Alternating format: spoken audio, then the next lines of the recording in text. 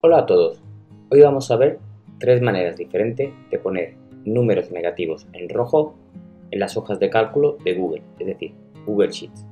Al final del vídeo aprenderás a hacer estos tres tipos de números que hemos visto. Índice, números negativos en rojo en Google Sheets. 1. Formato condicional. 2. Custom format. Arrancamos. Bueno, mientras vamos poniendo aquí el nombre del archivo, os invito a darle a suscribirse, la campanita y vamos a empezar ya con el primer método, ¿de acuerdo? Vamos a poner aquí opción 1, formato condicional, que quizás es el más básico y el más sencillo. a darle un poquito de formato justo para que se vea bien. Tenéis en la hoja de la, de, en la descripción el, el enlace a este archivo que lo podréis ver. Eh, vamos a utilizar la fórmula rand between manera que nos van a aparecer números random y así no, no hay truco ni cartón, ¿vale? Vamos a poner dos extremos, el low o el más bajo, que va a ser menos 2000 y por el otro lado, el más alto, que va a ser el mismo número, pero en positivo, 2000, ¿vale? Entonces, se ha puesto 719, pero cada vez que hay un cambio en la página, se modifica. Entonces vemos números positivos como el 904 o el 794 y negativos como el 1741 o el menos 236, ¿vale? Tenemos ahí toda la columna. Entonces señalamos todo lo que nosotros queremos cambiar, nos vamos a ir a formato, formato condicional y aquí lo más importante es la regla. Hay de texto, de fechas, de números y en este caso vamos a coger números. Menos entonces, como lo que nos importa es el 0, menos de 0 es negativo y le vamos a dar a el estilo de formato default y elegimos el rojo. Y tachamos DOM, ¿vale? Es decir, cada vez que, que esto cambie de número, se van a mantener los formatos y habrá rojos y negros dependiendo si es positivo o negativo. Es totalmente dinámico. Vamos a ver la opción 2. Aquí podéis ver que acabamos de cambiar los números cuando se ha introducido un dato y se han cambiado los de la columna B los colores. Otra vez, ¿vale? La opción 2 es a través de la personalización del formato de los números. Vamos a copiar exactamente los números y los ponemos aquí. Como veis, se ha perdido el formato porque el formato condicional solo se arrastra la B. Nos vamos a ir ahora a formato, número y nos vamos a ir aquí abajo del todo donde pone Custom Number Format. Y nos aparece cómo queremos nosotros poner los números. Aquí hay varios ejemplos con monedas, sin moneda, con decimales, porcentuales, eh, etc. ¿Vale? Entonces, ¿qué vamos a hacer? Lo que vamos a hacer aquí es crear nuestra propia forma de crear números. Genial, pues nada, nos vamos al lado del botón donde pone Apply, al espacio, y aquí es donde podemos modificar los números.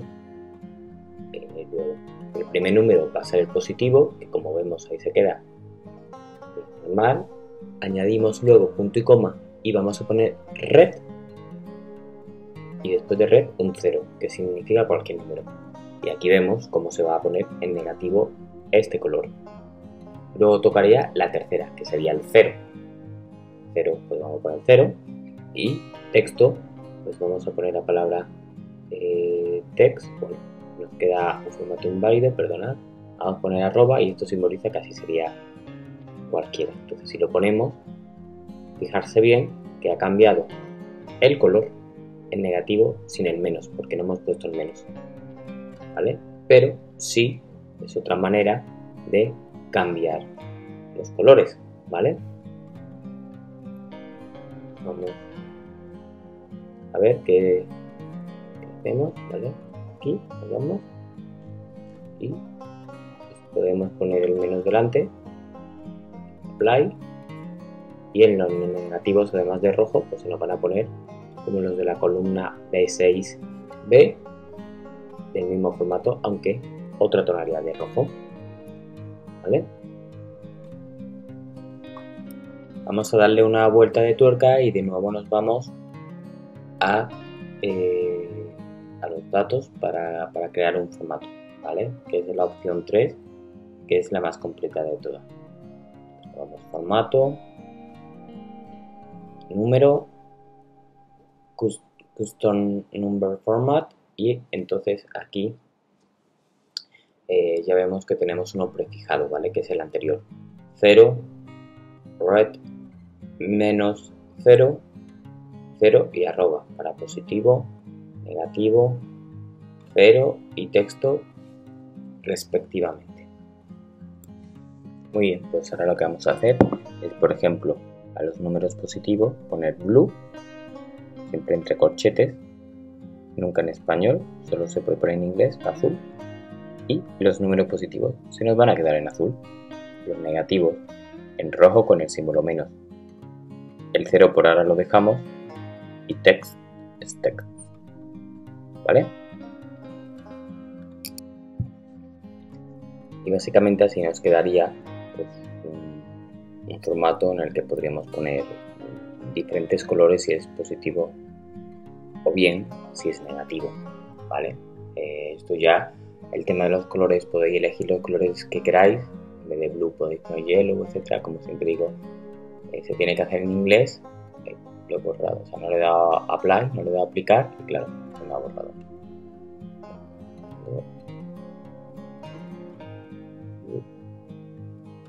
Apply y ahora que tenemos lo que habíamos comentado vale. Eh, como decía pues simplemente cambiar los colores. Vamos a hacer la tercera opción, que también es personalizar el formato con los números, pero vais a ver una cosa bastante interesante y que por eso hay que esperar hasta el final del vídeo, ¿vale? Que es una especie de, formato condicional también, pero que lo vamos a hacer con texto y números y colores. Solo se van a quedar los números, sino que además vamos a añadir una capa de información más para que cualquier persona pueda entenderlo. Eh, como antes, antes al inicio del vídeo, aprovechad este, este tiempo de pausa para darle like, campanita y suscribirse para seguir más vídeos de Google Sheets y las hojas de cálculo de Google, Google Ads, Google Shopping y demás. ¿vale? Bueno, pues ya nos vamos, le damos a Custom Number Formats vamos a borrarlo todo.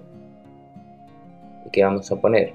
Vamos a poner de nuevo los colores, pero fijarse que ahora abrimos otro corchete y ponemos que si es menos de 500, no si es negativo o positivo, sino menos de una cifra, va a salir en rojo y vamos a poner muy negativo.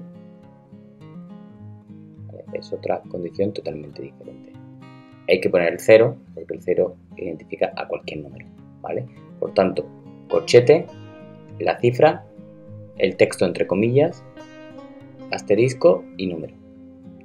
Hacemos lo mismo con blue, pero no van a ser los números solo positivos, porque el 328 entraría dentro de la primera clasificación. Vamos a poner los que son más Bueno, vamos para el ejercicio vamos a poner incluso menos 500 no, para que tengamos para respirar, ¿vale? Ponemos positivo y cero. Si me ponéis el espacio entre el asterisco y el número, se queda ¿Qué más? ¿Qué más? Vamos a poner green. ¿Y qué vamos a poner aquí? Medium. ¿Vale? Y esto va a significar